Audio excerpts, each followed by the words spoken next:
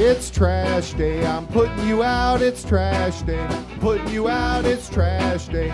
Putting you out of my mind. It's trash day. I'm putting you out. It's trash day. I'm putting you out. Trash day. I'm putting you out of my mind. Now I'm gonna clean up. Now I'm gonna clean up. Now I'm gonna clean up the house. I'm taking all your garbage. Taking all your garbage. Taking all your garbage. And welcome back to another Can Crushers Wrestling Weekend episode. It's Mark the Mark and Sir Michael Jenks. We had talked a lot. We talked a lot before coming on air, and I have a lot of coffee in me, so we need to calm down. Because you already threw me under the bus, you son of a bitch. I didn't mean to. I didn't think I was going to this early on. So that was interesting. Yeah. So we're pretty heated over something that came up this week. And it happened on Sunday, so this has been a week long stew for me. but we'll get there. Yeah. How was the rest of the flooring and how was the rest of your week, sir? So the rest of the week, let's see. I started off sick, uh, thanks to my lovely niece. That's amazing. She had a sinus thing going on last week. She was over at my house while her mom was at work, and I'm working from home. And then I picked it up earlier this week and just got over it, so that was fun. Uh, then flooring went great. We got the living room done, almost done last night. I was over there this morning doing some touch ups before the podcast, and my brother in law and sister are there now doing in the final pieces of the floor, and then we can put the trim down, and it's uh, it'll be grand. The mom's house, living room, and dining room have been refloored, so Is mom happy? What we needed to. Mom loves it right now. Uh, I took her to. She had to go to work this morning. Uh, she does payroll for a local hospital up here in parts unknown. So uh, she went to work and she told me this morning that she loved it. So uh, that's a good thing. That's And a win. That as a win. Yeah. There's a win. Pat on the back for the Sir Master. Yeah, I don't know where the hell that came from. Sir Master. I don't know either, but I'll take it. You know. So, what else did you do then? You had to get over the flu. And uh, let me say this because I want to give a quick shout out to you guys already early on in the podcast at the 40 year dash. I'm actually jealous of you guys Why are you because, jealous? well, I'm jealous because as much as I listen to you guys, and, and this is going to, this goes back a year and a half. I would like to work from home for a little bit. I'm sure you're over it because it's a different atmosphere. Like I had a, and I'm not making this about me real quick because we'll get there. Um, I had a rough week, and I'm just like, damn, I would like to work from home. I really would, just to see how, you know, it helps the mentalness. Because sometimes I do like being by myself. I would imagine a year and a half of it, just you and your dog. You're ready to drink every day and be loco. But I'm a little jealous there that you wake up, you work, you, don't have to leave your house. A little bit of an introvert in me in the last couple months. Yeah, and I mean, it's nice if somebody gets you upset at work or gets you pissed off. You can just walk down the hall for five minutes, take a breather, scream your head off, and then come back and you're fine. Or, unfortunately for my dog, she has become an unlicensed therapist, so I'll just talk to her for 20 minutes. But Right? I, I mean, it's nice, but to your point, I live alone. I need to get out. I will say that there has been some aspects where I do take my mom to work every morning, so that helps me get out of the house, helps me get just a different change of scenery type of thing. Because me looking at the same uh, aquamarine colored walls in my office every day kind of gets old. No, bit. I, and I understand that. Yeah. I do understand that. That you know, and I'm not. I'm going to throw you under the bus now. Um, let's not say boo hoo that you have not left your house in a year and a half. Yeah, you, no, you've yeah. you've gone to Pumpkinville or whatever, and you went and had some beers. Right. But Right. just knowing that you know you're chill from home, I this is going to hurt me probably. There's days I fucking hate people. I hate people. And it would like it would be nice to know that all right, at least every Friday or every Wednesday I can work from home. That's okay. Yeah. Uh, clearly you can as a garbage man. You can't. Right. Uh, You know, I it that would suck to have everybody on my street bring their garbage to my house. Here you go, Mark. You said you wanted to work from home. Process Yeah. this. yeah. Good luck with that. Yeah. But I mean, you're right, and I'm not boohooing on myself and saying, "Oh, I need to get out" and all that. It, it's nice. It's relaxing. Uh, it's also something that you know. Some days I just prefer to be in the office, but they keep me busy. And what's hard about working from home, Mark, is what I've discovered is you don't necessarily you can't necessarily turn it off because you always want to be on Yeah. if that makes sense. Nope. Because it's the it's the ease of access at that point. You have the setup, you're good to go. Oh, you know what? I'm going to work an extra hour, or you know what? I'm bored tonight. Let me go jump on to work for another two hours or something like that. Like I've been told by my boss, I need to cut back some, and I appreciate them for doing that at my job. But at the same time, I'm like, well, you know, it's there. I can get it done, and then I'm caught up for whatever in the week, and maybe I can leave at 3:30 on Friday instead of four or five. You know what I mean? So it's I could see that. temptation is more here. Yeah, the temptation is more here now. Being in the house, it's ease of access. I can just jump on and do it, and just be on it for God knows how many hours in the day. Uh, so that that's the one. I think that's one of the major downsides to it is you just you can jump on at any point in time and just go back to work. But that Um, that says something to your work ethic, though, because I'm sure, and, and I was being a dick about all of this. That imagine that, right? Um, I'm sure there's people that have taken advantage of working from home, saying, "Oh yeah, I'm getting this done," and you know they're not rolling out of bed till 10, 11 o'clock in the morning or doing whatever. But yeah, Yeah. that that just says something to your work ethic. That you know, Saturday night watching a Penn State game, uh, I'm just sitting here. Why not? You know, Google this, that, or whatever for work or whatever. So Mhm. yeah, I, no, I understand that. So turning it off is is key because that, but that goes along with um, Jenks. And I'm not saying it is our sicknesses or weaknesses, but w- I think we're both like that because as soon as I lay down at night, I now do have a notebook by the bed because um thinking about stuff for the podcast. I'm thinking about, you know, the whole and I'm going to announce this real quick if you haven't seen it that I posted earlier this week.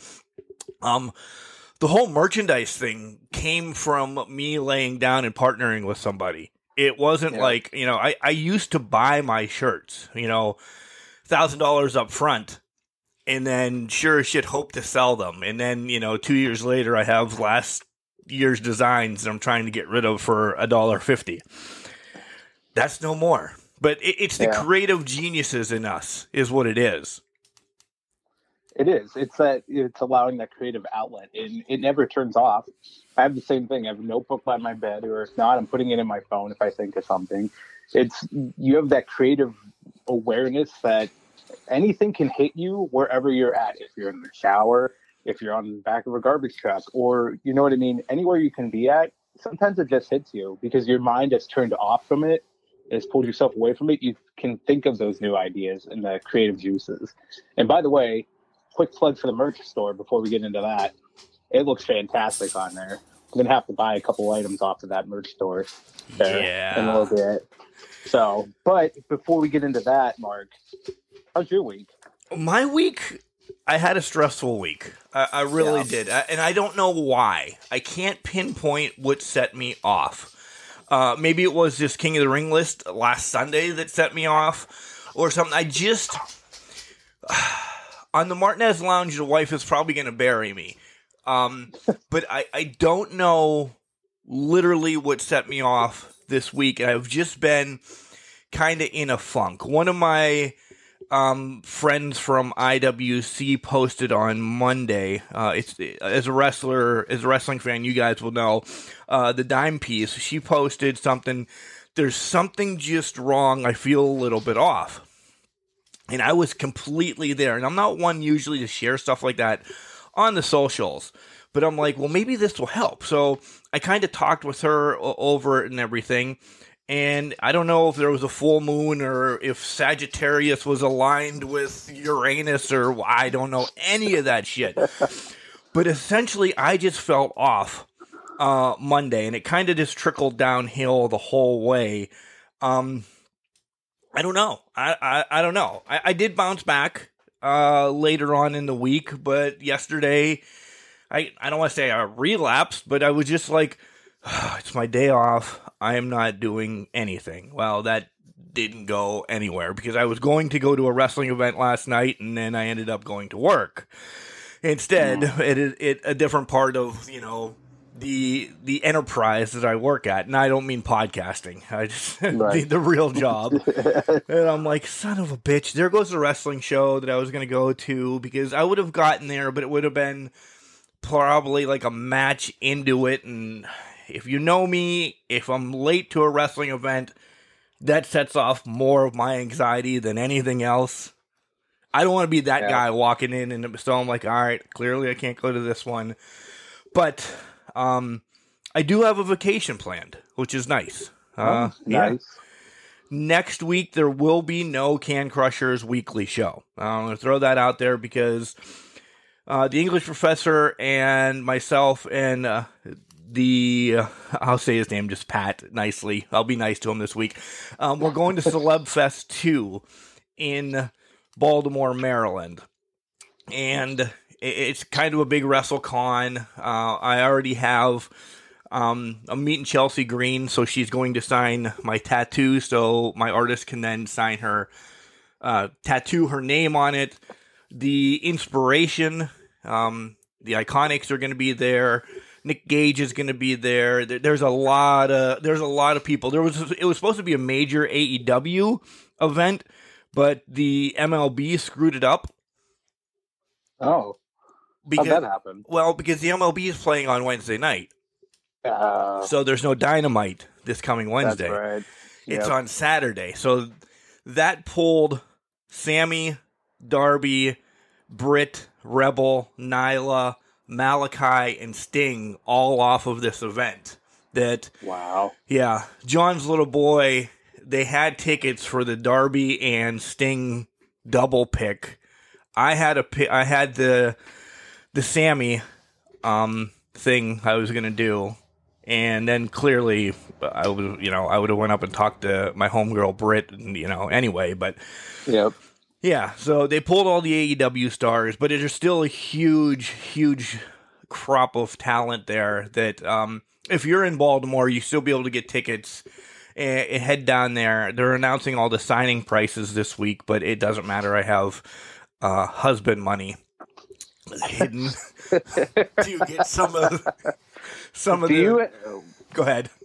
I was gonna say, is this like hidden in a sock drawer or something like? I don't want to give away your uh, hiding Yeah, place. And but- nor will I.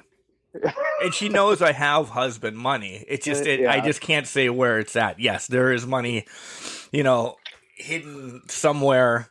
Uh, I'm not even gonna say it's in the house. So Ah, fair. You know, I laugh because my brother-in-law has husband money too, hidden from my sister that I know that I know about, and we always laugh about it because she always tries to find it, and it's kind of hilarious when she goes on to, on into the thick of it to find it. into the thick of it, thick of it, into the thick of into the it. thick of it. Ugh. Ugh.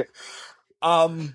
So yeah. So I'm a, I'm a little excited for next week. It's Saturday, and there's an event afterwards, uh, a little bit like a mile up the street, that we didn't buy tickets for yet. But uh, we're gonna ballpark to see if uh, we want to do the wrestling event after a long wrestling event, or if we want to do uh, wings and beers and possibly just sit outside and do whatever. If it's raining in Baltimore, then we're probably going to the wrestling event.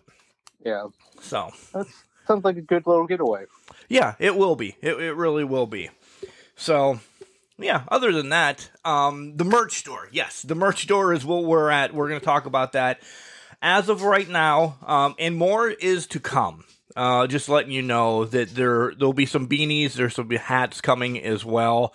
They're all kind of in the in the works of things. So I partnered with teespring.com, okay? And uh, anybody can do this. So if you have merch that you guys want to get out there as well, I'm telling the masses, along with the 40 year old Dash and the Martinez Yeah. Lounge people, um, if you want to do this, you know, you just kind of send your logo in and then they'll work with prices for you after you pick some of the stuff you want. And then uh, it, it, it's almost like a 70 30 spread. I'll just put it that way. That you know they're making this stuff once people order it and shipping it off, and then they'll give you some of the profits. So yes, um, it is a way for us to get some money, um, but it's also a business for them. So if you see me at an event or if the 40 year old dash does this and you see them at an event or something you're like oh man i'd like a, a hoodie uh, we're going to direct you to our website because as podcasters and human beings and husbands and family members and everything i don't have the overhead to keep a thousand hoodies or you know t-shirts or like that when Yeah. we're doing this we're doing that to the house and it only makes more sense so I'm going to direct you to the website and say, here, go order it. it. It'll be like two to three weeks before they get it to you, but you know it's you know top of the line, fresh. It, I, it's not been sitting in my basement underneath um, mothballs or anything like that.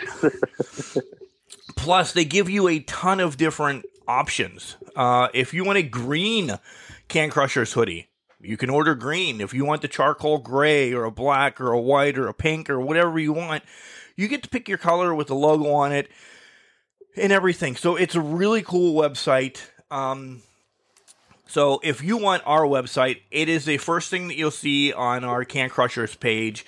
It is also on our main website, um, cancrusher69.wixsite.com backslash can crushers. Uh, you'll be able to order from there. That thing brings you over. Um, it'll pop up all the time. It'll always be available for you guys to order stuff. But Jenks, yeah, as of right now, we have hoodies, we have tees, we have a what the hell do you call it? Coffee mug. They call it a Yeah. tumbler. Um, Yeah. stickers, long sleeve shirt.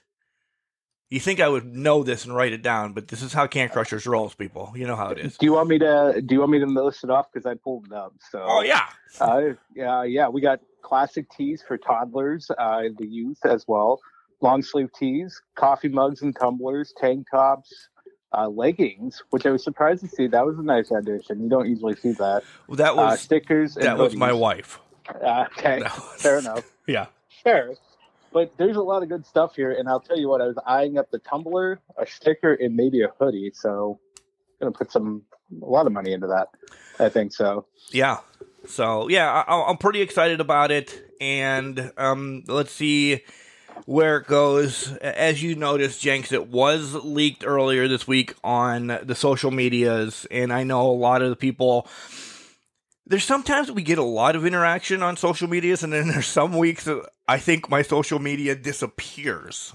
I really do. And this was one of the weeks that I think social media disappeared because I'm like, what the fuck happened? I'm posting stuff and nobody's liking it. Nobody, maybe I just pissed somebody off or I don't know. Maybe they're mad about the King of the Ring thing that Fox put on as well. I don't, I, it could be. They could be very upset about that. yeah. I mean, that list was pretty atrocious. From the top ten list was atrocious. But Yeah. So yeah, uh, get out there and buy some merch, guys. Uh, all right, let's plow through this because literally after the football games last week, um, Fox aired a King of the Ring special, kind of to promote what was to come up this coming Friday with the start of the King of the Ring and the Queen's Crown. They put out the top ten King of the Ring winners. All right, here's Fox's list. Jenks, you can jump in when you want. Uh, I know we both ma- made our own list, and you are already hated on mine. But starting at number ten for Fox was King Corbin. I I don't even know what, how that makes the top ten. But okay, Yeah, I didn't. That, that set Yeah, me yeah. off right off the bat. yeah. Number Okay. number nine put me over the fucking edge though, because number nine they have Macho Man that far down, fuming, Yeah. Fuming by now. Eight Yeah. was Sheamus, seven was Angle, six was Edge, five was Brock, four was Triple H, and th- this is really where it gets crazy now. Three was Brett, two was Austin, and one was Booker T. And I think uh, the birthday boy Max is ripping into something in the kitchen because I hear him just. He must have found his birthday treats. Go to town, buddy. I don't care. He's I- one. He's one today, by the way. So happy birthday, Max. Well, happy happy birthday, Max. I love it. Uh, Bailey's ripping into her bone over. Here. I don't know where she went now. Oh God, she's loose. Uh, she was eating her bone in front of me. Now she's gone, so I don't know where the hell she went. But Booker T at one kind of. I liked Booker T as the king, but one's too high for Booker. the T. one's way too high for Booker T. one is way too high. I mean, their list they have some decent ones on there, but what what's your top ten? 'Cause I want to hear yours. All right. I, again, I'm going to go backwards 10 to 1. All right. Yeah. I have Edge at number 10. Okay. Okay. And, and you're like, why? Because Edge was somebody by then. I, I really do. He didn't need this King of the Ring. So he just, here, let's make him King of the Ring. And I'm an Edge fan, so I wanted him on it. Um, nine was Owen. Uh, so far down, yeah, because there's others that um, I like that Owen had it but this isn't the this isn't where Owen was made then. You know, uh, he wasn't there yet. Uh, I did get Sheamus on the list at number eight. Um, personal reasons. I, I've always been a Sheamus fan. Number seven, I have Mabel. Go ahead, Jenks. I guess I want to hear your reasoning behind it because I I just do not. I think Mabel might be my last King of the Ring on the list. Ever. Close to the bottom. Yeah, I, I'm not a big fan of Mabel, but tell me, give me your reasoning behind it. His was entertaining to me. It was just he was a big man. I don't know. I, I the hokiness of it. Um, not that they did much with him or or anything. Just it was that era. He was again. I'm stuck on the word hokey. That it, give it to the big man. He's gonna run with it. Um, I think there's worse ones than Mabel out there. I really do. Okay. All right. Um, number six is Triple H.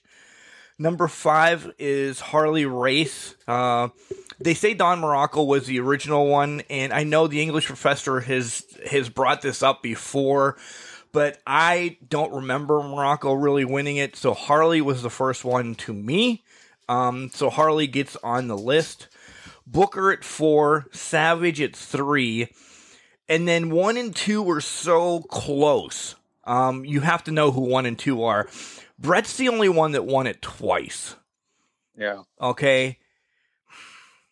But what it did for Stone Cold is, I don't know, transcending. Because yes, he won the King of the Ring and he really never pandered to the King of the Ring, but Austin 316 says, I just kicked your ass. Boom! There is Austin. And, and what has changed the wrestling world that we know up until that point. So that's why I think the most influential uh, King of the Ring has to be Stone Cold. That's fair. Um, and spoilers, that's my number one too. But I was going to get into that. Kind of the same point on that one. So I mean, I, that list doesn't surprise me. Besides Mabel, I'll say that. Sheamus, I was a little on the fence about, but Mabel was the only one that took me by surprise. So let's get into my top ten. Yeah. What's yours then? Okay. All right. Number 10, I had Angle. Uh, I did love Kurt, King Kurt, so he was getting on the list. Nine, I have Triple H. wow. Um, I didn't know, I didn't feel, I mean, he, it helped his career a lot. I just didn't think that was his spark. It wasn't until he became that serious, down to earth guy about mid 99 that I think it kicked off Triple H for me. So that's why he's low. Eight, I'm a big William Regal fan. I know he didn't do much with the King of the Ring, but he, I just love William Regal, and that I thought it fit his persona well.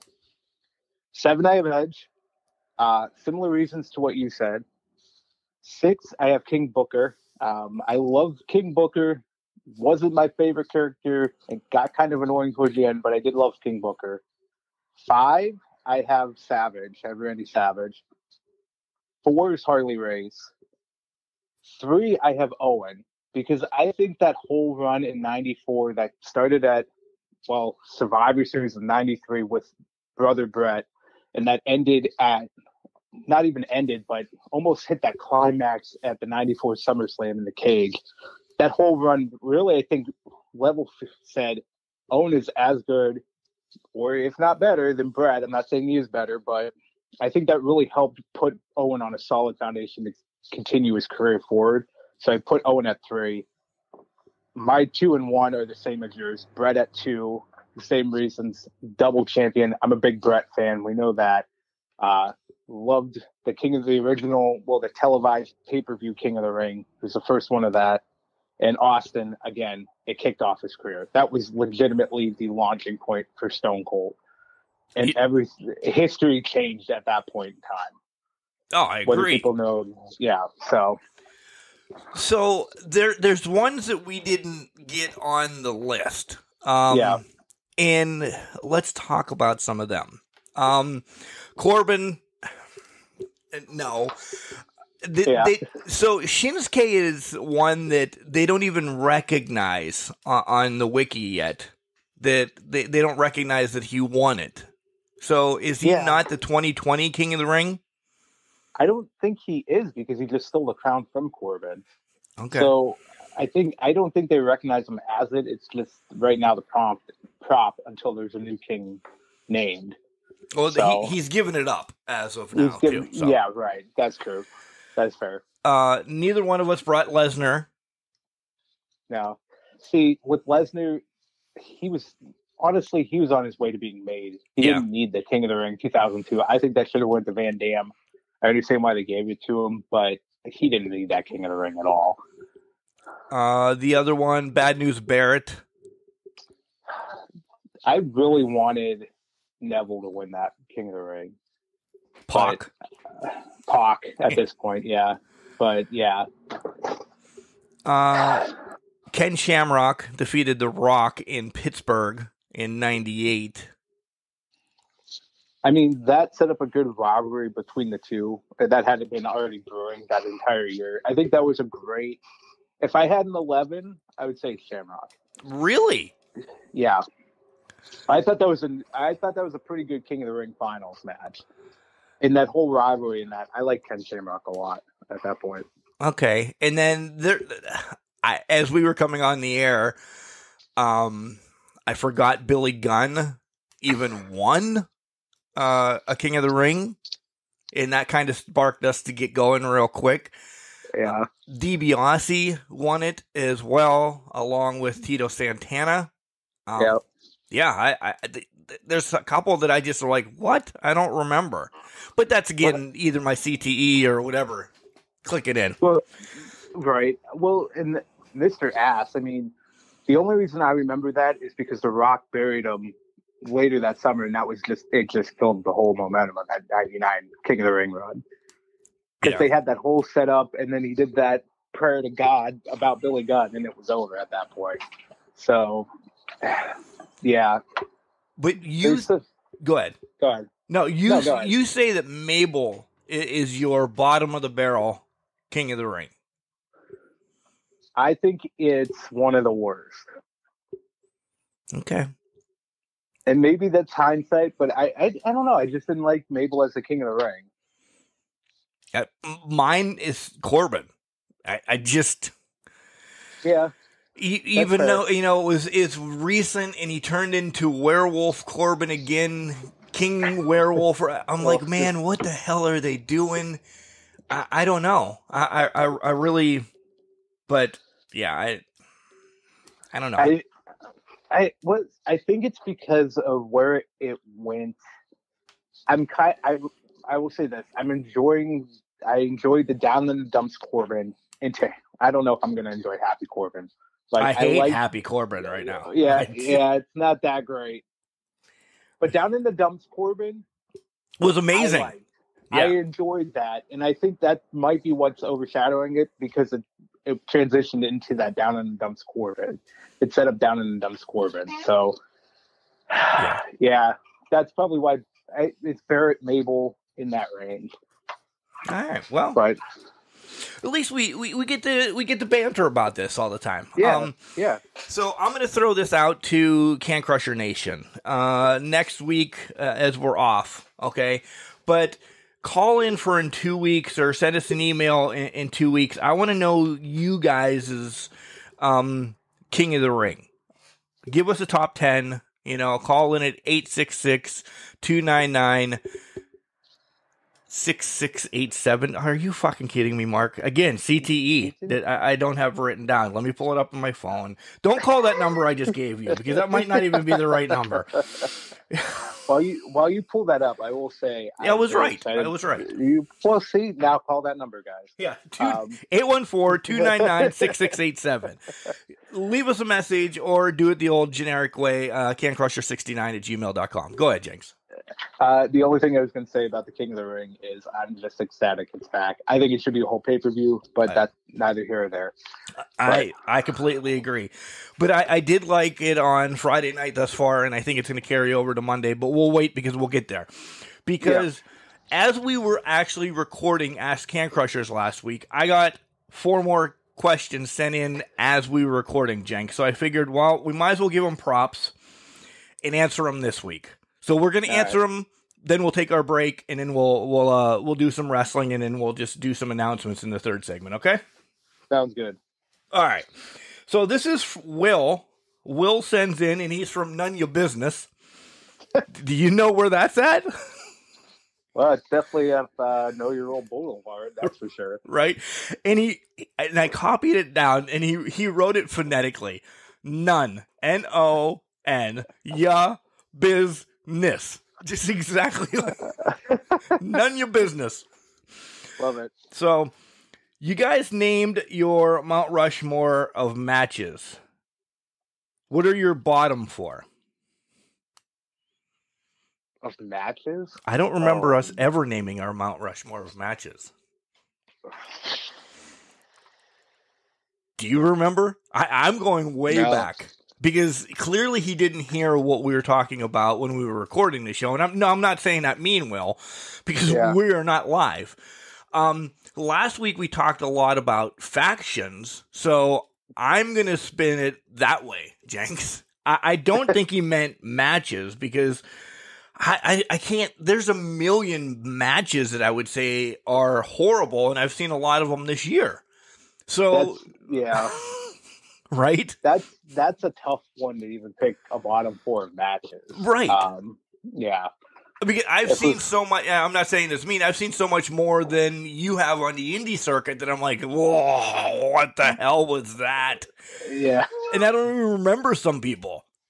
So, Oh, So maybe he meant factions, since we Yeah. kind of alluded to it earlier last week that we were doing factions and everything. So, Will, from None Your Business, I don't know what you meant, but I'm going to say he means our bottom four factions. okay. If not, he can rewrite his question and then actually tell us where the fuck it's from. Right. So Oh, I'll okay. let you go first. Oh, thanks. I gotta. I had to pull up a list of factions so I can take a look at this. Well, I would say the first one. Actually, I know two off the top of my head. Disciples of Apocalypse and Los Boricuas. That whole '97 run between those two, I did not enjoy them at all. So I'd say those two make my bottom of the list. Um, I'll also throw in the Corre, which was the ripoff of Nexus. That one, it had it went absolutely nowhere, and it made no sense to me. And the final one, God, uh, I'm going to say the League of Nations wasn't that great. It had four good people in it, but it wasn't. It wasn't that great. Wow. I think that's my four. I think that's my four. Wow. See, the League of Nations I was all right with. so Uh, they they had a good thing with Roman at the Rumble, but it just didn't work for me. It didn't seem like it was authentic. I don't know, but I didn't enjoy it. So okay, all right. Um, these are relatively easy for me. okay, Um, one is the oddities. okay, yeah, Horrible, horrible. Uh, the other one is Kevin Sullivan's group in WCW. Um, I can't think. Oh, I can't think of the of- name of it. The Dungeon of Dungeon of Doom, Yes. wasn't it? I Yes. forgot about them. They were absolutely horrible. Absolutely horrible. Um with trying to make uh, Brutus Beefcake the man with no name or whatever. The that was Well, and then you have the Yeti. yeah. Okay. Uh, yeah, I'm taking out League of Nations, putting them in. All right, I totally forgot about that. right. But yeah, go ahead. Um, no, the Dungeon of Doom was the match. It's the Faces of Fear. The Faces of Fear was Oh, that's it. Yes, that's it. Yep, you're right. yeah. Oh well, Yep.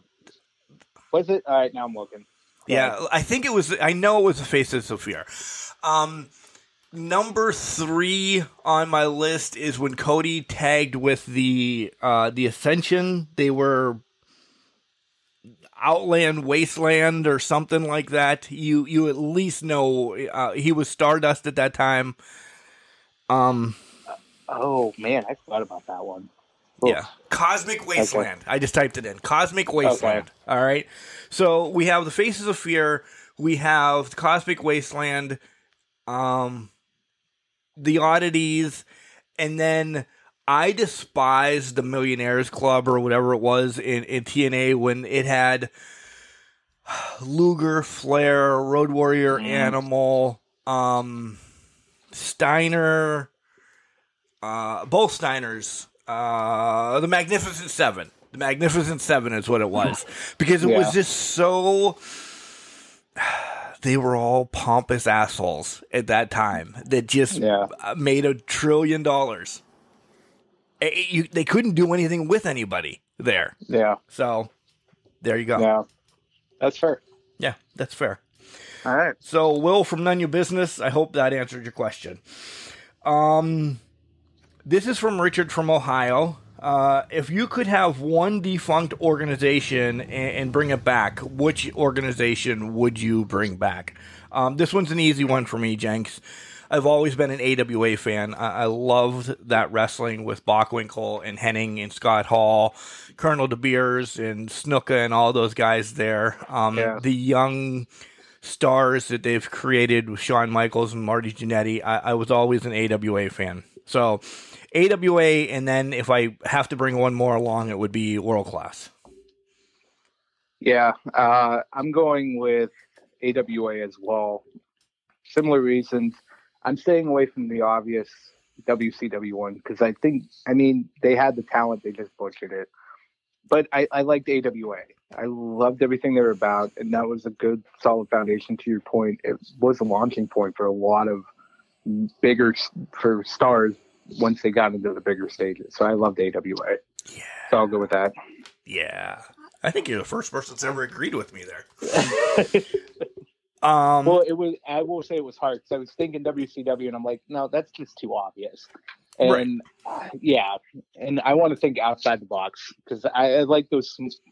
I like the territorial wrestling at that point in time, and I loved AWA, what they brought to the table, and I enjoyed it when I could watch it on YouTube or wherever I could find it. So the network, I, I don't know if the Peacock has it because I don't dive deep into Peacock because it sucks. yeah, But Yeah. uh, when it was the network, they used to have all the AWA stuff on it. I really have not dove into Peacock, and I probably won't. I just use it for pay per views in the office. I tried watching. I will say this because I have a yearly tradition, as sadistic as it sounds, to watch the Mankind Undertaker match on the day it happened. I always watch that Hell in a Cell match, and I always go back to it.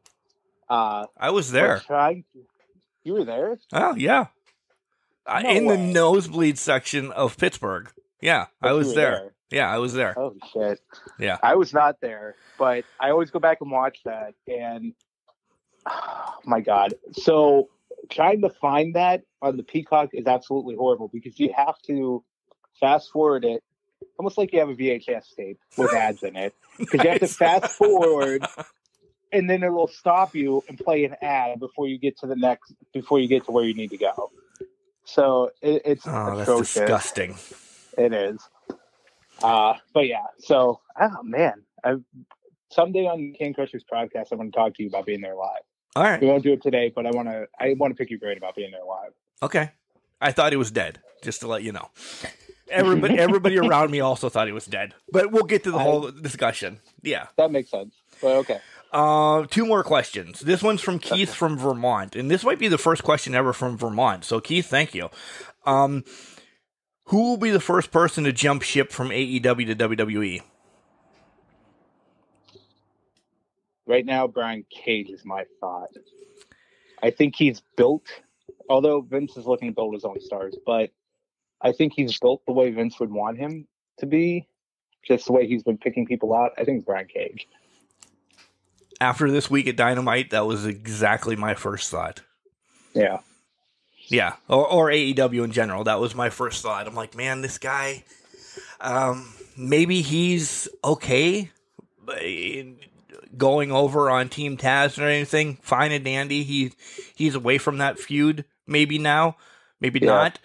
Um, when does he get his just dues? Because he should be, he should be up there fighting with Mox and Jericho and all those guys for the heavyweight championship. He's a great worker. He really is. For he he moves like Vader and Bam Bam for as big as he is. He looks like you know, Big Papa Pump or the narcissist Lex Luger, whoever you want to call him. He's got all of it.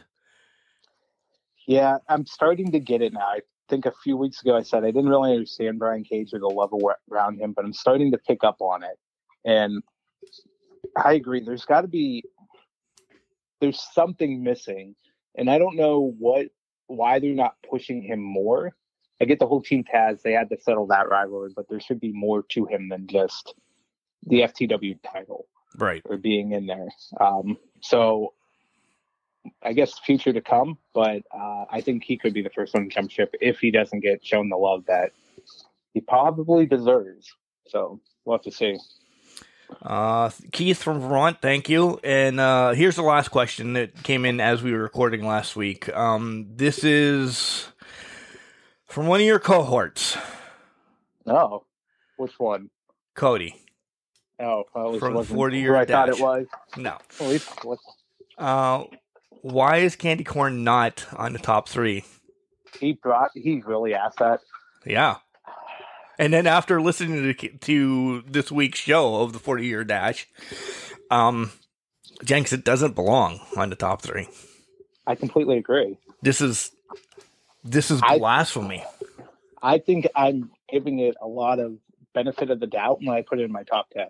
Yeah, Um, I can name ten candies better right now that are in my house: Whoppers, Milk Duds, Fun Dip, Almond Joy, um, Smarties, Nerds, Nerds Ropes.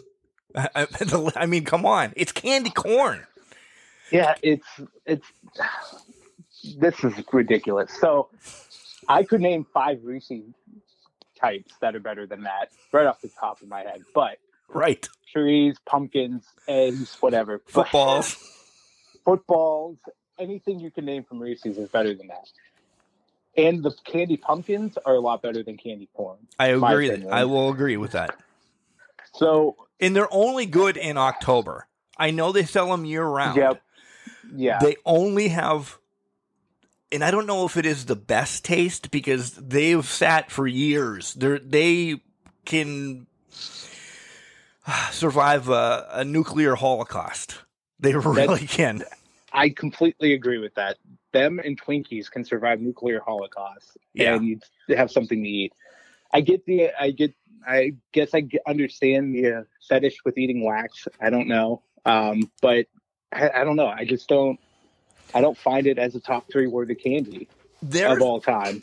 the the wax lips that you get in your trick or treat bag, or the wax candy bottles that you get the, like the the juice out of. Yeah, are better wax than a candy corn.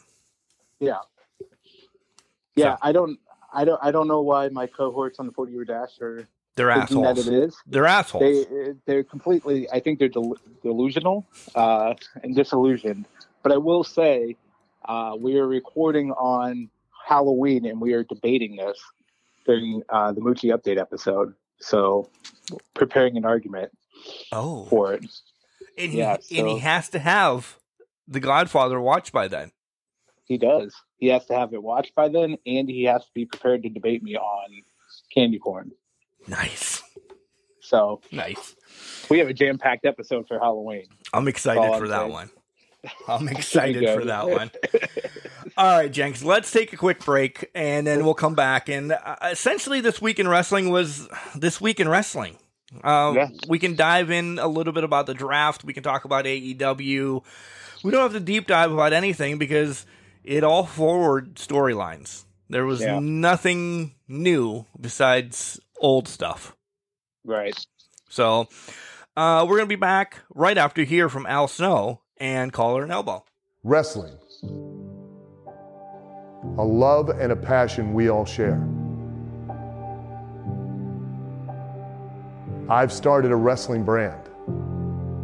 The wrestling brand. A brand founded on the aspects of wrestling. Two entities working together to create a product that connect emotionally for people everywhere. Collar and Elbow is the brand. Passion and love for wrestling is the drive. I am Al Snow, and this is Collar and Elbow, the wrestling brand.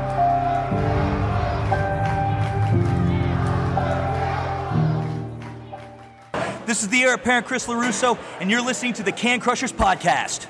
And welcome back to Can Crushers. Guys, don't forget you just heard from Al Snow at Collar and Elbow.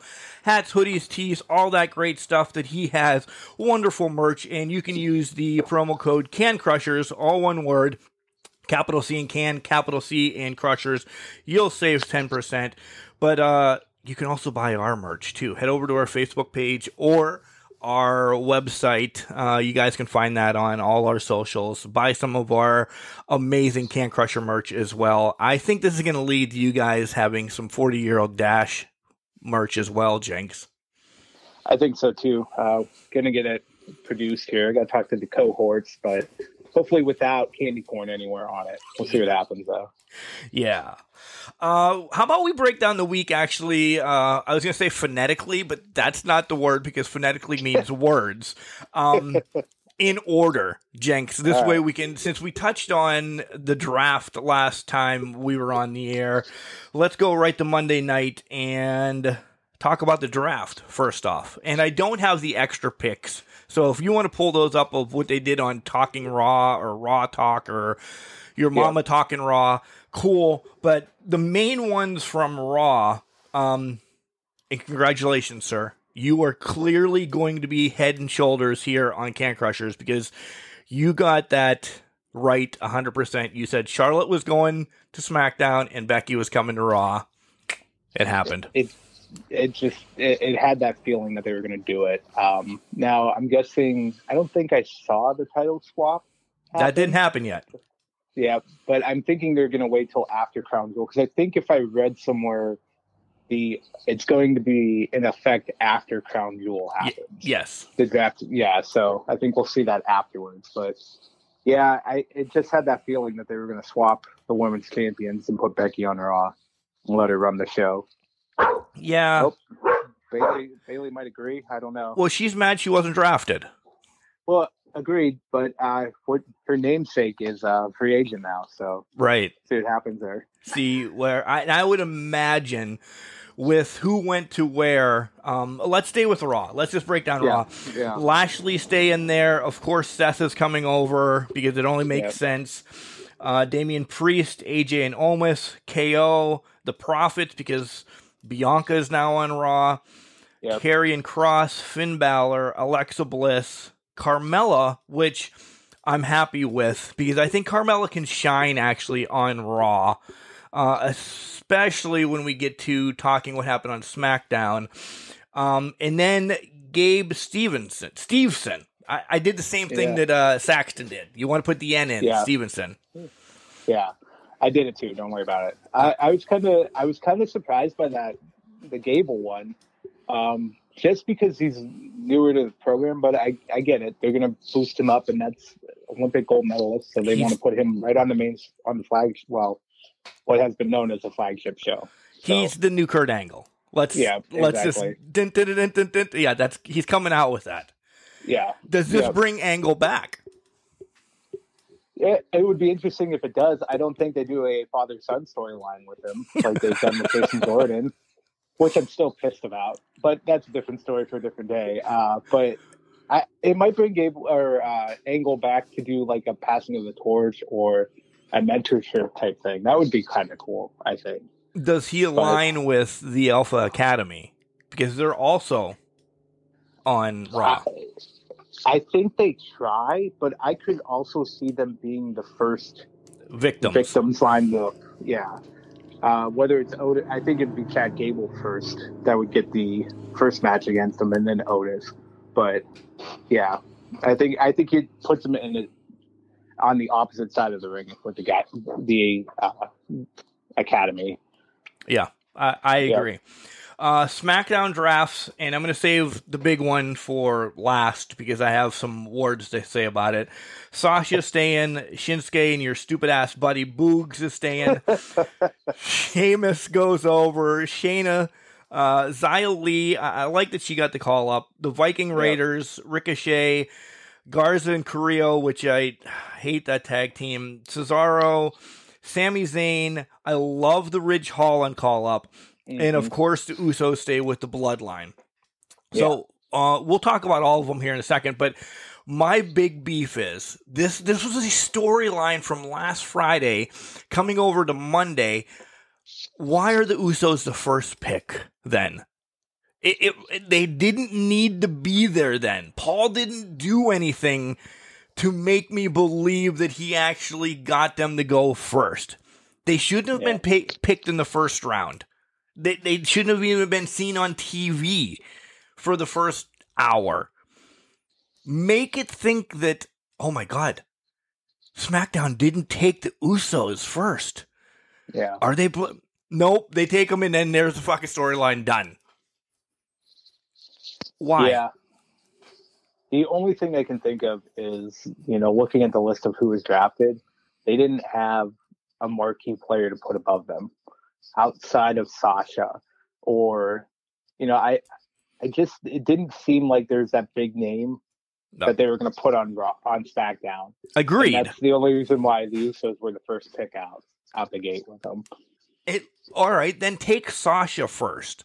And Yeah. then during the draft, have Paul come out and punch Pearce or something to say, we're taking the- oh, something. This was supposed to, to me, this was a big story coming over. Are the Usos going to get drafted? Oh my God, they're going to be on Raw. Yeah. But, oh yeah, we're taking Usos. Paul didn't talk to us or nothing. Yeah, we're taking Usos, no problem. Oh. It's- it, I think it's an example of a lot of things that have they have made me question over the past however many weeks. Or what's what's the creative thinking behind this, and why are you doing it this way? yeah. Um, I, I think that just it just adds to it. So another thing I want to talk about from Raw, uh, and it is Corey Graves. Oh, This was, I am glad, uh, and I think it was scripted because Dana then sent comments back. Um, Yeah. Corey Graves buries Dana Brooke, and yeah, he's not wrong. He's That's not. all I have to say. I am waving the Corey Graves flag. He's I- not wrong. I gotta agree. Um, yeah, I it seems like it was scripted. That's fine. He's not wrong. She just hasn't, and maybe this is for a push for her to go. Uh, I don't know, but she just been kind of treading water and not really doing much with it. And honestly, I haven't never been a big Dana Brooke fan. And that's why you've seen her get lose to Austin three seconds in the past or things of that nature. This, this was right on point, and it pretty much said what a lot of people were thinking at that point in time.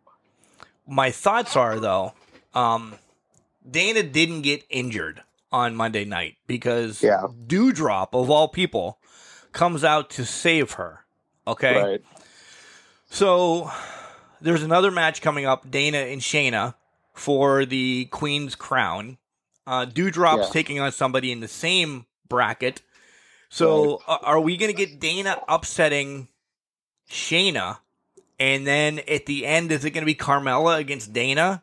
And Graves actually causes because Jenks, I I, I want to see Carmella win this Queen's crown.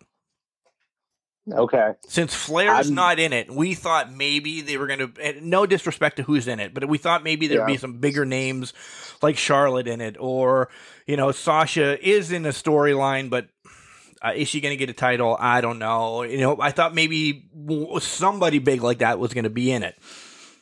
Th- This is looking like Carmella could win. She beat Liv Morgan, who I thought was going to win.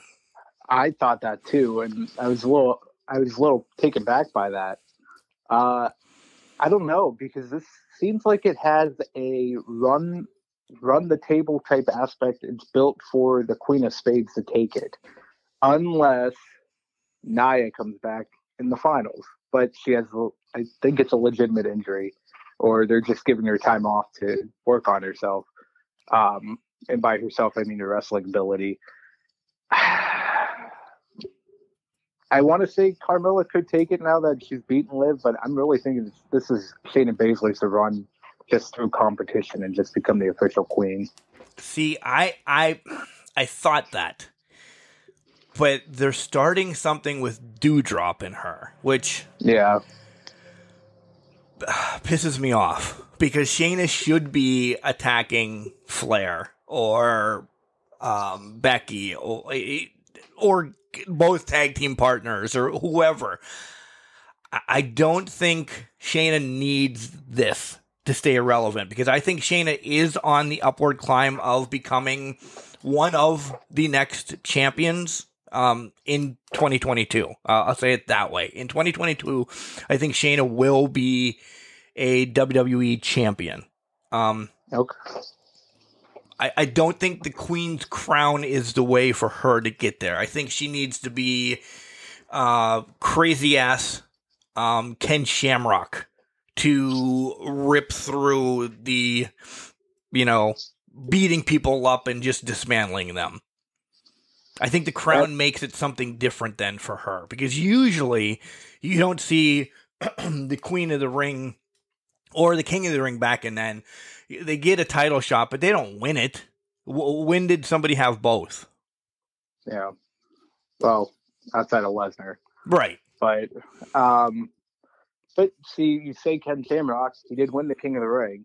He They did. give that to him, and I think they so they put Shayna in that predicament for so many months where she didn't look like that perennial badass. She was taking roll ups, pinfall. She was taking losses for her team, and then recently she just turned into this complete and utter machine monster mix that we all know her to be. And we even talked about it. I think it was last week where we mentioned about, or a couple weeks ago, where she had really lost her luster when she became the vampire at some point. Right. And I think her stomping through the competition, it sets up perfectly for her versus Doudrop in the semifinals. And I think that could be where they build up to. I, I think this is just putting Shayna over as that monster. She runs through the tournament field, and it's a queen versus queen matchup on SmackDown. If you think about it that way, because at some point Charlotte will have to come across. I believe Shayna was drafted SmackDown, Right. so Charlotte's going to have to come across the Queen of Spades, and I think that's where Shayna takes the title. I think that's who beats Charlotte for the title at some point. So essentially, we're both saying um, it's going to be Carmella against Shayna Baszler in the finals. Yeah, I don't see Zelina Vega winning it. I don't Getting either. to the, I, I was kind of surprised she beat Toni Storm. I thought they would set up Toni Storm versus Liv Morgan, but I get why. I guess I can understand why Carmelo beat Liv, being a former champion. It kind of does that 50-50 booking between the two as well. But uh, I think I think Carmella is a more legitimate reason to put over Shayna if she beats her. More legitimate opponent to put over Shayna. I'll give you that. You might have just changed my mind. You might have just changed my mind. Yeah. Damn it. But I think one of them needs to come to Raw. Uh, essentially, we're gi- then we're both giving SmackDown the Queen's crown. Yeah. if it goes to Baszler.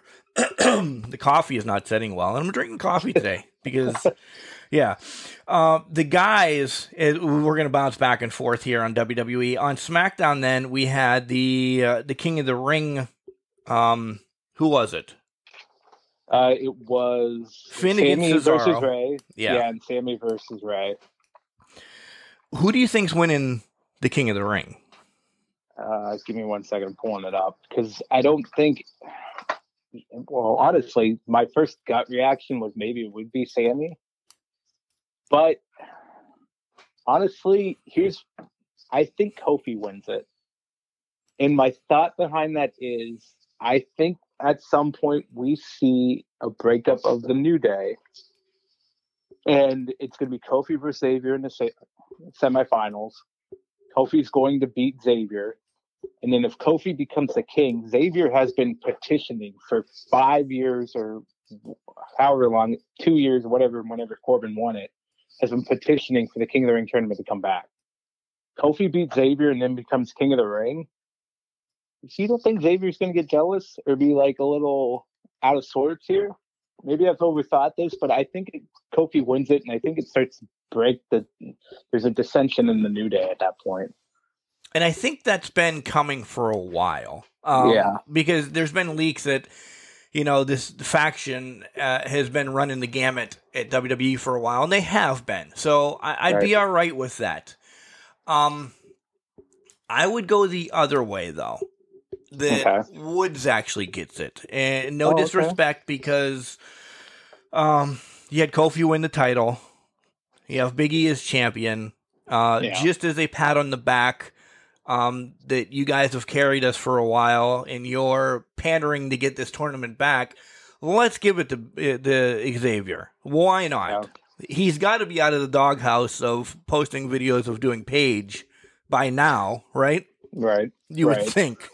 You would think. Um, and on the other side, I think it's Finn the whole way because that solidifies he's a prince and he's been the first ever Universal Championship holder. So whoever wins from that side, because and no disrespect to Cesaro, Cesaro's been a middle of the pack type of guy. Yeah. Yeah, I agree. I mean, that side of the bracket is just building for Finn to take it. I, if Finn doesn't win this, it's by hook or by crook, especially with Sami Zayn in the next round. But Right. yeah, I, I really don't see anything standing in Finn Balor's way. Um, but I, I could see your point about Xavier too. And to that point, maybe Xavier goes a little over the top about it. You know, you could be Kofi. I really just think it's going to be Kofi and Xavier in the semifinals. Just the way they did that, that it doesn't make sense to put Jinder Mahal or Ricochet in that matchup.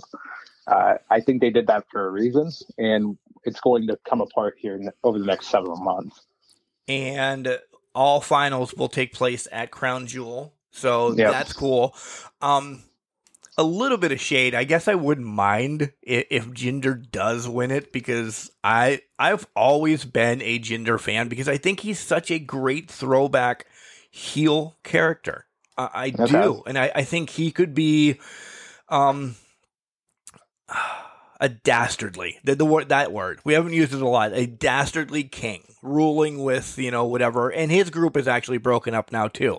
As Yeah. um one of them went to raw uh, and one of them went to smackdown. So it's just Jinder and i think shanky is with him. I nor do i care essentially. Let's leave it at that. But uh Yeah. go ahead. Yeah, I, yeah, I was going to say, I think it's Shanky or Veer, one of the two. I can't remember. Yeah, Shanky's on SmackDown, Veer's on Raw now. So, at the end of SmackDown, we get Seth and Edge. Edge calls out. Well, Seth calls out Edge. Edge does come out, and me being stupid. Um, so they're calling for a Hell in a Cell match. yeah. Holy fuck! Normally, Hell in a Cell matches take place in the United States. This is going to the Crown Jewel. How are they getting the Hell in a Cell to Saudi Arabia? They're clearly no not building one over there. They're bringing Yeah. one that they've had pre-built and everything. Imagine that because normally they just truck them. You know, they're in a Yep. truck. They truck them to Providence or Pittsburgh or wherever. How did you send this to Saudi Arabia? I have no idea. Uh, obviously, the prince is footing the bill there because that's the only way that thing's getting over there. Oh, oh my god, ship? Is that how you send it? I I don't know. How do you send that? I guess you're asking the question, and I have no goddamn clue. That was the first thing I thought of. I'm, not that I'm excited to see this match. It, it could be a great match. It really could be. Yeah. I'm just like, how they, how the hell they getting that there? Or are Yeah. we going to get a generic Punjabi one?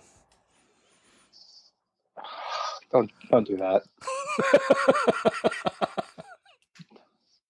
We're gonna get bamboo sticks, and Great Khali comes out at the end and throws them off the side. That that wouldn't Uh, surprise me on a Saudi one, now. By the way, No, it won. It won. so That well, that could be how Jinder wins the match. Wins the final. oh, I hope not. uh, anything else on WWE that you'd like to talk about before we transition over to some AEW talk? No, uh, I did want to just mention one quick thing. I'm disappointed they broke up Knox and Blackheart before Oh, they got the tag title shot. But yes! uh, what the hell? But I guess that's one way to solve a problem in WWE is just break them up so they'll get a title shot. So that was the only other thing I was going to bring up. Yes, that the, that was actually written down in my notes, uh, low at the uh, bottom of the thing. I'm like, ah, because that actually took place. That was one that actually took place on Raw Talk or whatever, right? Yeah. Yeah, Yeah. that was one of the ones. Yeah. And that, I was looking at that, I'm like, you got to be kidding me. But, I mean, it seemed like a tag team they just threw together to begin with, but I thought it worked pretty well. Um, but it is what it is, I guess. But And- yeah, I was a little they- disappointed by that. They ended up breaking up the former tag team champions in as well. Nat went to Yeah. one in Tamina's. So there is essentially no tag teams besides the champions right now. Yeah, exactly. I can't, I could not name a women's tag team. There isn't. Jenks, there, There isn't. the IIconics are the inspiration now, heading to Impact at Bound for Yeah. Glory. Um, the Riot Squad, uh, one has had a baby, one is in AEW, and uh, uh, Liv Morgan just got buried by Carmella. Yep. Um, yeah, That was it. I mean, that was it. NXT doesn't even have. No, because I mean, Candice have is pregnant and Indi's married. Yeah, and I think they have Toxic Attraction. I think it's their name. That's the lone tag team I can think of besides Io and Zoey. Yeah. They broke up the Robert Brandstone, uh, Br- Robert Stone brand, I mean, because Aliyah's coming up. Yeah, she already turned on him a while ago too. Right. And yeah, there's nobody left. I I don't understand why you would break.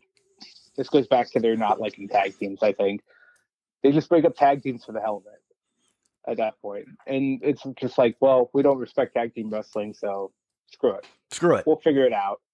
We'll Win, throw two people together and they can win the tag titles. win though. So th- th- th- they're just going to defend against um, the air quote local stars for a while. Yeah. Well, uh, you know what? Uh, they're not on the same brand, I don't think. Uh, I was going to say Carmella and uh, Zelina, but they're not on the same brand anymore, are they? No. I cannot remember. Yeah. I was going to say, well, they had some sort of tag team or alliance at one point, but that's not going to happen anymore. So, So we have a women's tag team championship. We have champions that don't go together because one's a superstar and one's a rock star uh, monster, yeah, and we have nobody to defend them against. it makes sense. I Perfect mean, sense. Yeah. Yeah. All the sense in the world. Perfect sense. So I wouldn't be surprised if you see that championship go away um, sooner than later. I agree. And that's sad. I, yeah, I th- I think they could have done a lot of good things with that, but Yeah. it's sad. All right, AEW time here on Can Crusher Nation and Jenks. Um, I want to go to Rampage right off the bat, and Okay. then we'll come back to Dynamite. A weak show again on Rampage for me. I, I really, uh, and I'll start with the Punk match. Um, first of all, the goddamn pants are back. I was pissed about that. I knew you were going to be pissed about that. I, I actually wrote that down as the first thing you were going to bitch about. Good. So I love seeing the um, Punk work with the youngsters. I really do. Yeah. But this is his third match, and can we get him to look solid once? And I'm not saying that they're building him up like that, but he needs to destroy one person. There, there's got to be Okay. one person. I want one person where he just comes in, beats the snot out of them, go to sleep, and puts them in the clutch, and done. But this was a good match. It, it didn't need to be this week, but I'm just saying at at some point we need a quick punk match just to show that he's back. Yeah, and I think they're building. I think it'll build up to that. I I like how they're doing it right now because it, it's getting him. Hey, he's getting acclimated to the ring. If he came right in and just destroyed, I'm not saying he would have or they would have did this to Darby Allin, but if he just came in and destroyed him as his first opponent, I think it would have been they're forcing it upon us that Punk is that good. Right. And I I'm like not saying Darby or even Hobbs Yeah, because yeah. he was bigger. I was expecting it in this match, actually, just because Daniel Garcia Oh, and 2.0 are a joke. Well, they've been pushing Daniel Garcia a lot in 2.0 or the Nasty Boys uh, little brothers. Can I? I popped for that. I did too. it. I was dying because I thought when they first debuted those stupid vests, I thought the same thing. But um, uh, I like Daniel Garcia as a wrestler. I think he's a, a good talent. He's a younger guy right now, and he's having a lot of phenomenal matches. I think he had four matches in a row this weekend against some very name. uh, big name guy, and that says a lot for his talent level. I think. So I I like this match. I thought it was a great, it was a good match. I won't say great. It was a good match. It made sense. I get your point. I think I don't know if it's an AEW talent or they get some local guy for him to squash. I think it has to be a AEW talent. And I'm going to be honest and go back to Wednesday. I don't know what they have planned for Bobby Fish, but I feel like it's not going to be that high on the card. I don't either. So maybe it's a Bobby Fish destruction that they throw out there. But Yeah. I, I get what you're saying. I but I like their approach that they're taking that he's not automatically just destroying people when he gets out there. Right, right. And I wasn't like again, I wasn't saying to do Yeah. that against Darby or Hobbs Right. because I think those are two big players in the in the future of AEW. Uh, Garcia as well. I, I like where they're going, but next match because right, Lio um wants to book a match against Punk next week to see if he's worth it, and it's against uh who the hell was it against? Uh, one of his stablemen. I can't even remember who's in this group now. Yeah, but maybe that one. You know, Yeah. Punk just comes out, boom, Lio, you guys suck. And it starts a fight between the other stablemen and the other stablemen to get them guys going and whatever. As long as Lio Rush doesn't turn into the guy that with a microphone and starts screaming again, I could get behind what Lio Rush is trying to do. Yeah. But if he's the whole hype man for Bobby Lashley again, Lio Rush is going to lose a lot of people once again. Yeah, Um, he has to he has to carry himself. yeah, He can't be the mouthpiece. I go ahead. No, um, I've never been an acclaim fan, so I was pumped to see the Luchas pretty much take care of them easily. Yeah, And, and we we know that they weren't losing the titles um, this early. Uh, Santana Right. and Ortiz have not been around again, so I'm telling you, that's who's going to be the next to win it, folks. Mark it down. That they're going to have a mega match. You're you're probably still wanting it to be FTR, don't you? I would love it to be FTR, but I I'm starting to agree with you. I think it's Santana and Ortiz. It, it's the only one that makes sense right now. I think that's how you build it up. Yeah. So I think they've started the road for Santana and Ortiz to take it off of them. Uh, I would love FTR to win the title at any point in time, but they're not set up to do that right now at this point in time. So Uh, we kind of saw the finals of the TBS championship um, break down in the next match after Jade destroys Skye Blue. Uh, I think this is going to be your finals. I think it's going to be Thunder against Jade for the TBS Yeah. championship. yeah, I agree with that. And I'm wondering, they're probably going to put it on Jade, to be honest. Yeah. But uh, I, unless Thunder's going to cheat the win, I don't think Thunder's going to be the one to put the first loss on Jade. So, and maybe that's how they escape it being Jade taking it off of Britt. And having that undefeated champion. They just put her on the TBS championship and be undefeated with that. I, yeah, That could be it. Uh, I think so. Um, and I don't know if Britt came on on Dynamite, and I mean we're going to kind of conglomerate these together a little bit, and, and said, "Oh, good, you." Dumb bitches essentially can fight over this new championship that means nothing.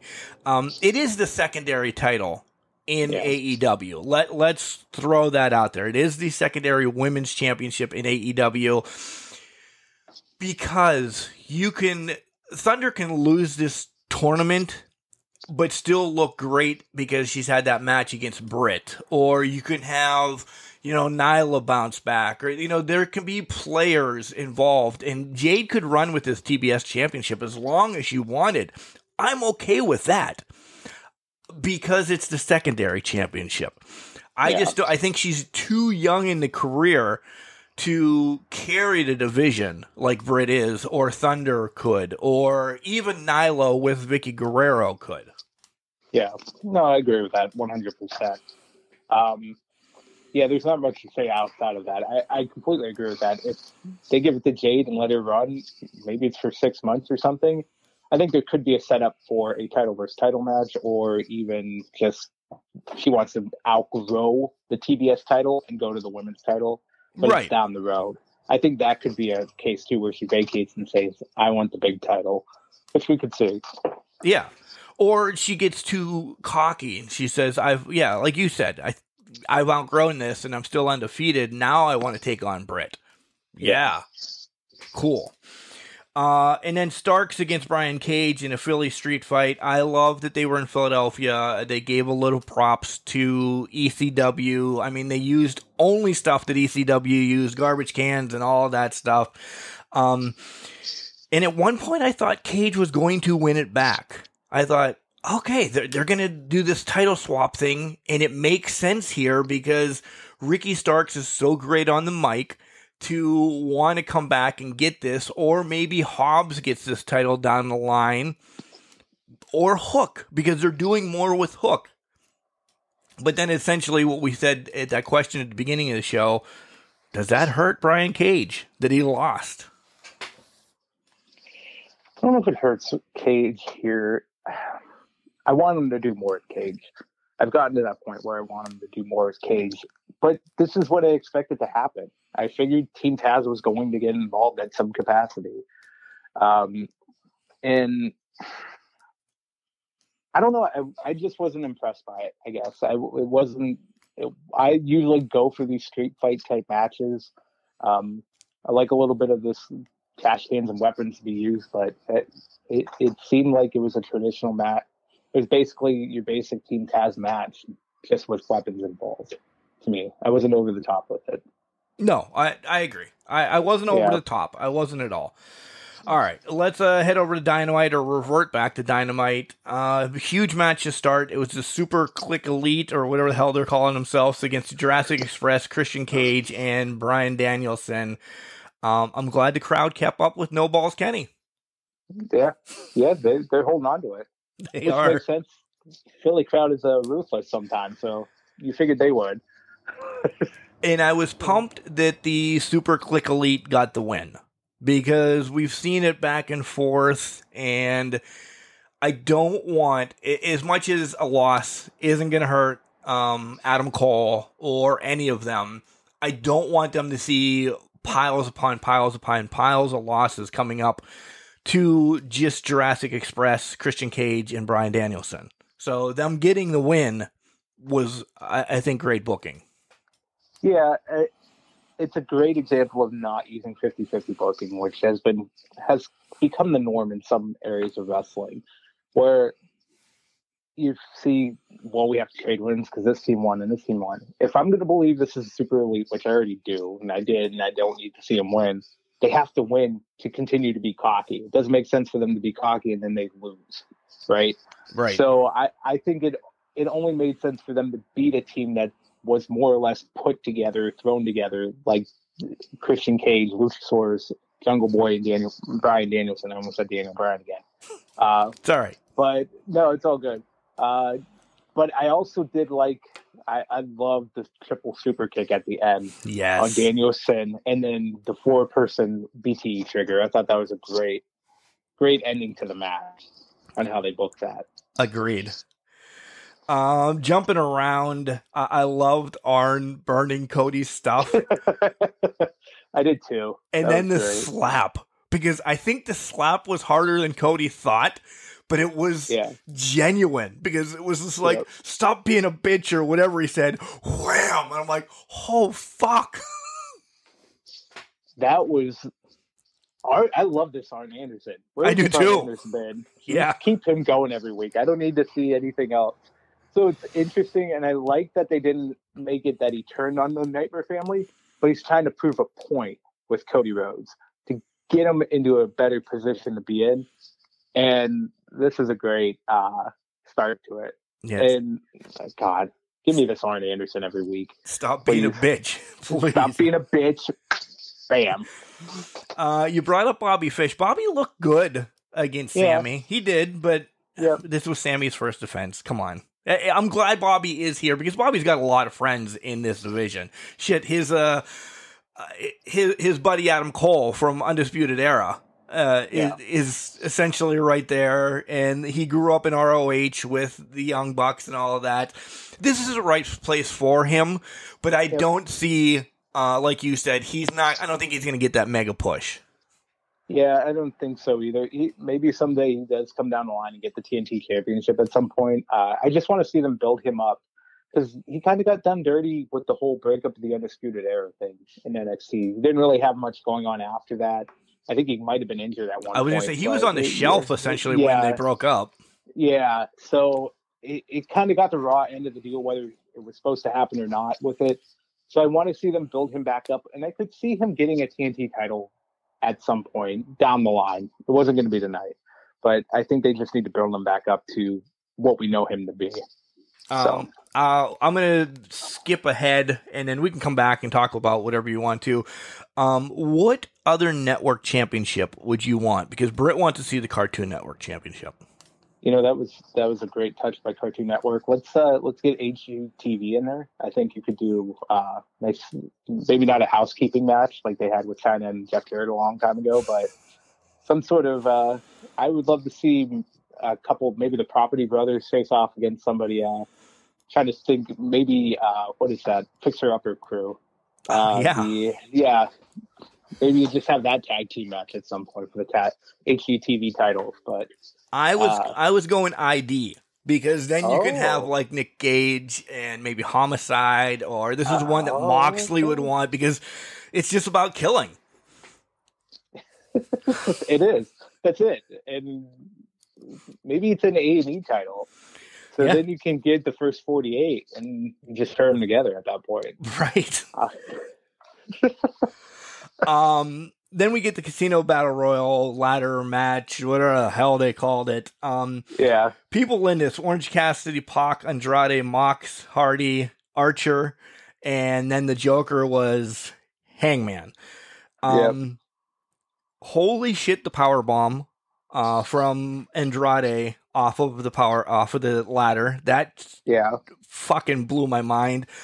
But my biggest pop was uh, when Hangman comes out. It says he finally showed up for work. That was mine too. I was dying when I saw it. That as soon as he came out, I'm like, oh. First of all, he yelled cowboy shit. Second of all, I'm like, what are they? What are they going to put as his tagline? And when he said he finally showed up for work, I I lost it. That was a fantastic touch to that. Although, did you holy shit when he did the dead eye off the damn ladder? yeah, I did. Oh. I really did. Like this was a for these guys being in this. Uh, this was brutal. There was Yeah. a lot of bumps that I'm like, holy fuck, guys! This is just on cable TV. Why are you killing yourself this much? They didn't care. They were going to go for it. Yeah, Oh my god.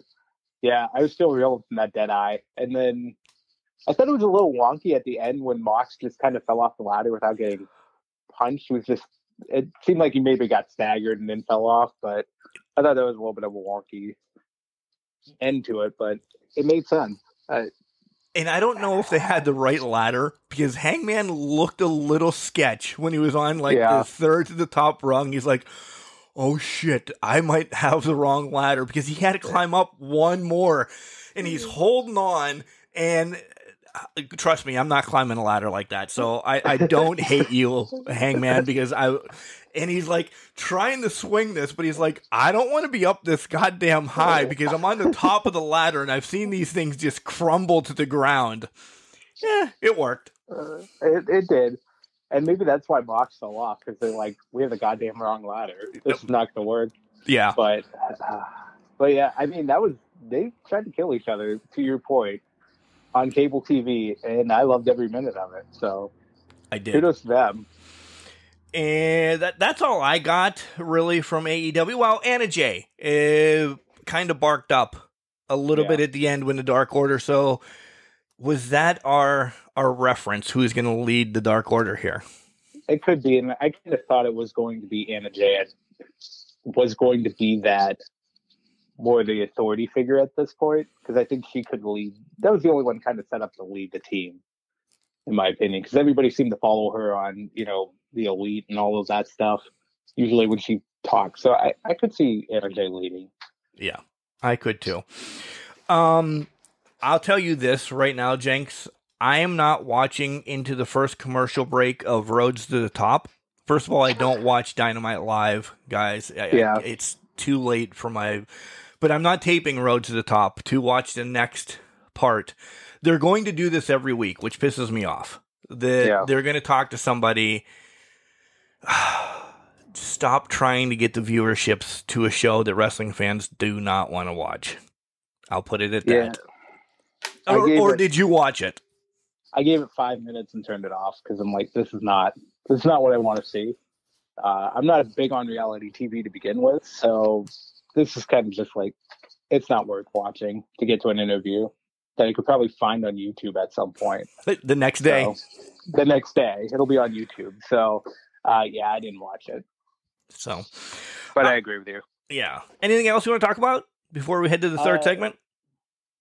We can jump to the third segment. I just want to mention I love that they did not give Shida the 50th win to Deeb. I thought that was a nice little hold off for it, and then she got attacked afterwards. So I like where this is going because it seemed like a foregone co- conclusion when they showed the uh, class plaque at the beginning of it. So I'm kind of glad they didn't do that. And I don't think she's going to get it anytime soon. No, I think she's going to be that. chasing it. I think she's going to be chasing it for a while. It, it gives her. She doesn't need to be around her title right now. It gives Yep. her something to do. Mhm. Um, Deeb is turned and is a badass, but I think you see Shida getting some random losses to uh, people you wouldn't expect because she's only worried about that 50 wins. Yep. You know, have it be on elevation or something. I mean, no disrespect to maybe Skye Blue or our homegirl that was on last week, Maddie Rinkowski, somebody like that. Maybe you see uh, Ray Lynn head back to AEW and she just got to go back to the the boards to figure out what she's really doing. Not worried about this fiftieth win. Exactly. She's going to be focused on too much. I like that's kind of where my head to, went to. She's going to be too focused on the 50th win, and she's going to cost herself a couple times before she gets it. We got this. We can book shit. Yeah, we got this. We know what we're doing. I mean, I called the draft last week, so. You did. All right, we're gonna take a literally a, a quick break. We'll be right back. Wrap this show up with uh, some final thoughts here on Can Crushers podcast. Yo! It's Johnny Patch, the American Daredevil, the super indie champion, and you're listening to Can Crushers Podcast. oh, welcome back, Can Crusher Nation, to the podcast. Wow, I you tried to do Big E there. you uh, were you swerving your hips? I was. I was trying to get it. Jenks rocks. Mike Jenks rocks. Uh, you just heard from Johnny Patch, uh, former IWC Super Indian champion, not Indian, indie champion. Uh, this coming Saturday, check out the IWC network. It is Super Indie 20. Um, hopefully that's what I want to do, Jenks. Uh, we'll be just leaving Celeb Fest. You know, I'll have my computer with me um, down at Pat's house. We should just throw Super Indie on his old TV down there and watch that. Um, the IWC network, only nine ninety nine a month. You get twenty years of their history. You can see the likes of Wardlow and Britt and early CM Punk, and uh, the list can go on and on and on. Elias, and yeah, everybody that's ever come through IWC is on that network. And this coming Saturday is Super Indie 20. Check out the card. It's pretty flippin' amazing. So, yeah, Very nice. Yep. ve- very nice. Very nice. Uh, hey, Mark, real Hey. quick. What's in the coffee? Uh, oh, um, look, you've been having a rough day this morning here. I have been. Uh, I, again, I did this uh, sleeping in thing because both Yeah. uh, other humans in this house are at work. So I love Ah. when this is mean. Again, it's at the end of the show, so they won't listen this long. I love when they're up and about Sundays and out the door because me and the birthday boy and the big man, we went back to sleep until about nine o'clock. I text you the rundown, and then I went back to sleep.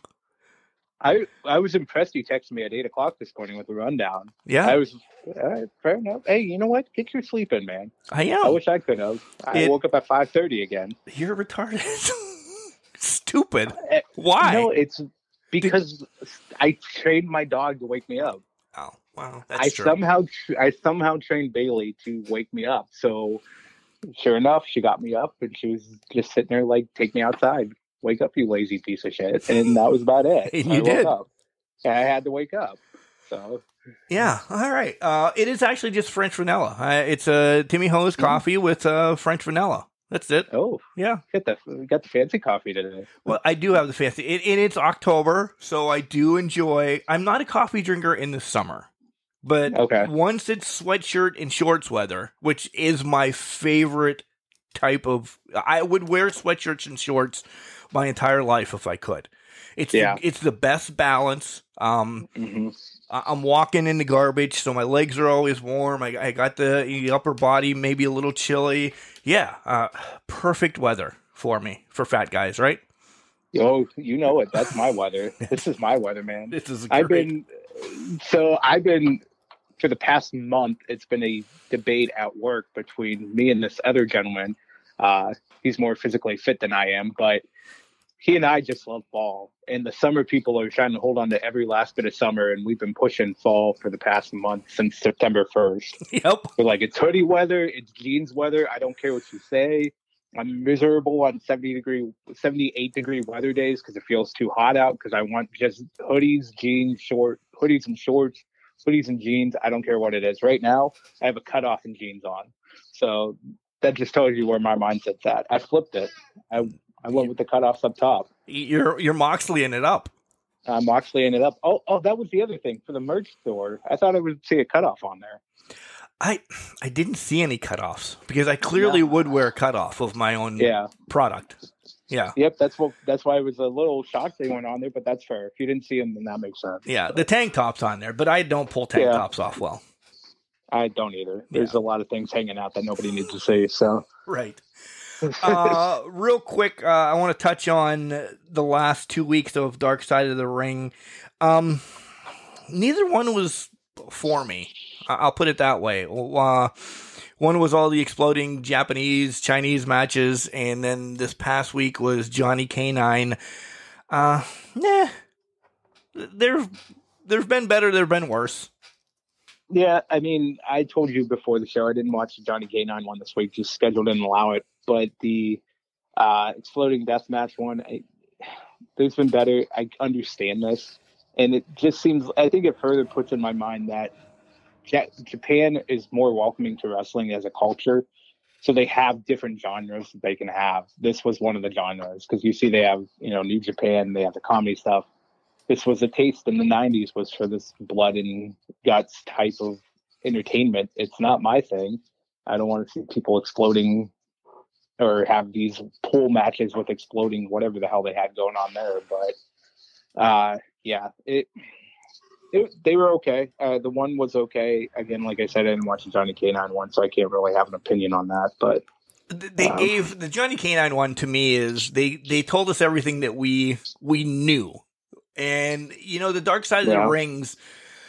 I always expect them to get a little bit dirtier and and maybe behind the scenes, and it was just like, yeah, uh, he did this. He he, Yeah. he he he was he did this, and he. he but tell us, what Yeah. did he do? Was he? I mean, yeah, all right. So he was in Satan's Club, or and he was in this, or he was maybe involved in a murder. They they bounced around stuff more than you know true confessions of uh, a killer. Yeah. Th- This is a wrestling fan. We want to know the down and dirty.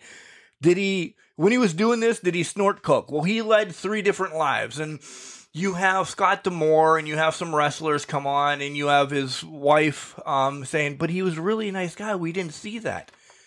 Give me one of the assholes then that says, yeah, Yeah. this son of a bitch was snorting coke and doing this outside. It was supposed to make Johnny K9 look like the devil. You had no backing. You had one guy that rode in the bike with him and he said, I would have told him not to do this. And that was his most poignant line. The whole hour show. I would have told him not to do this. Go be a teacher, go wrestle or something. Live that dream. All right. So, eh, we'll see what happens this week on Dark Side. I still love them. Don't get me wrong. Yeah. I, I love Yeah. everything about them, but yeah, Yeah, I, I love I love the concept. I mean, it just wasn't the strongest episodes to me, right. or this one wasn't. Yeah, so Yeah. Other than that, I mean, eh, we uh, we're heading to Baltimore this this coming Saturday. Again, IWC is this coming Saturday, and you guys have a podcast coming up this week, and I've moved Yeah. your present. At least it's on the table now, along with extras. Now, see, I'm getting it ready because I'm actually just sending extras along to say I've been a giant jackass and I missed. So you're going to get your main thing, but you're still getting something else as well. And I hope you enjoy I. I, you know, I, I'm sure I will. I would have also, I thought about it when I looked at the merch store. I'm like, well, I'm just gonna have to order something so you can sneak that in there so you can ship it to me. But I'm not Uh, shipping but, it. But you're not shipping it. You told me you're not shipping it, so that ruined that joke earlier. I had it lined up and everything, but, uh, but yeah. So I, I can't wait to see it if it does come. It Um, will. It will. Okay. I, uh, all right. I'll take a day off work this week just to make sure I ship it. Okay. All right. I'll believe when I see it. It's like the Godfather thing. I'm telling you. I know. With Moochie. Uh, I'll believe it when I see it, man. He's got uh, this coming weekend. Uh, since we will be off next week again, if you're just joining us and you ended up on the last couple minutes of the podcast, I don't know how. Uh, we're off next week because Mark is going to be out of town and he just doesn't want to bring his podcast stuff down to Pat's house because Pat has a jungle down. No, I'm kidding. I love Pat's family. Um, it just it doesn't travel well. Yeah. Um, so you guys are recording. You have your show coming up that releases uh, Yeah. next Monday. Yep, it'll be next Monday. Uh, it'll be a Cody update episode, so we'll see what the uh, Codester has going on, and we'll be prepping. There'll be a Moochie minute. We'll be rambling about something. Uh, hopefully, he forgot last week, so we had to do candy corn thing on the fly, and we'll have a debate about candy corn in, in two weeks or three weeks now, on Nice. the thirty first. So that's what's coming up for myself. Uh, Yeah. outside of other family functions and that that are going down. Yeah, uh, we'll be recording later on this evening, ready to drop for tomorrow, the second uh, rendition of the Martinez Lounge, as Kelly is bringing the topic. Um, a real first episode because last week was get to meet us and know um, the concept of the show and what's going on and everything. But Kelly's Yeah. got the real first topic that we're going to banter about. Um, I am not sure what she's bringing to the table. This is the way that we're going to bring topics. This is her topic, so she's got all her notes. She didn't tell me what's going on, so um, we're going to do the fly with that. And then following week will be mine that I won't tell her what, and she'll have to do you know responses. So yeah, that's what's coming up for me. Very nice. I said I did listen to episode one. I'm kind of intrigued by this topic this week. See what happens. Yeah, it, it could go so many ways with Kelly. It really could. I could be buried and not know about it. Well, let's let's hope not. Let's keep positive thoughts. Positive. Power positivity. Yeah. All right, Jenks. Remember, just because you're trash, it doesn't mean you can't do great things. It's called a garbage can, not a garbage cannot. What, what was it going to be called? You you almost didn't say garbage. I I almost didn't. I was fumbling with my words there. Maybe I've had a little bit too much this morning. Who knows? Maybe. All right, Jenks. We'll see you soon, buddy. I love you. Love you too, buddy. See you guys. Take care.